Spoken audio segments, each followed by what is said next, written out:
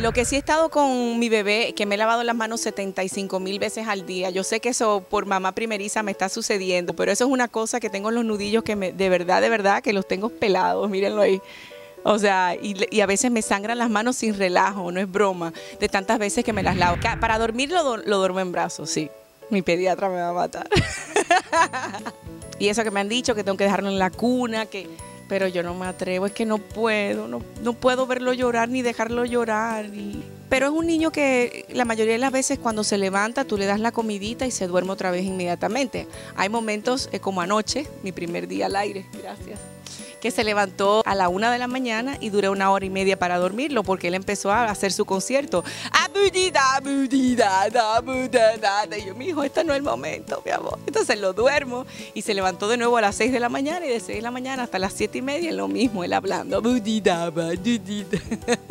y yo me río y estoy con él. Disciplina para bajar de peso. Si no tienes disciplina, no lo vas a hacer. Segundo, beber mucha agua.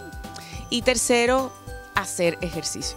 Todos los días hago ejercicio, menos los domingos. O hago elíptica o entreno con Nicole.